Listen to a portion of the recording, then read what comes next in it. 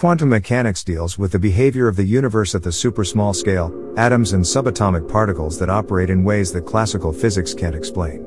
In order to explore this tension between the quantum and the classical, scientists are attempting to get larger and larger objects to behave in a quantum-like way.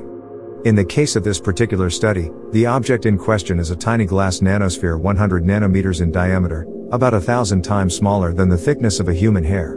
To our minds that's very small, but in terms of quantum physics, it's actually rather huge, made up to 10 million atoms. Pushing such a nanosphere into the realm of quantum mechanics is actually a huge achievement, and yet that's exactly what physicists have now accomplished. Using carefully calibrated laser lights, the nanosphere was suspended in its lowest quantum mechanical state, one of extremely limited motion where quantum behavior can start to happen. To achieve quantum states, movement and energy must be dialed right down. Novotny and his colleagues used a vacuum container cooled down to minus 269 degrees Celsius before using a feedback system to make further adjustments.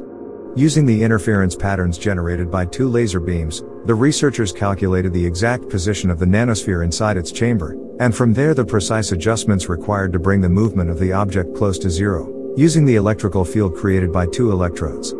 Once that lowest quantum mechanical state has been reached, further experiments can begin. While similar results have been achieved before, they used what's known as an optical resonator to balance objects using light. Researchers hope their findings can be useful in studying how quantum mechanics causes elementary particles to behave like waves.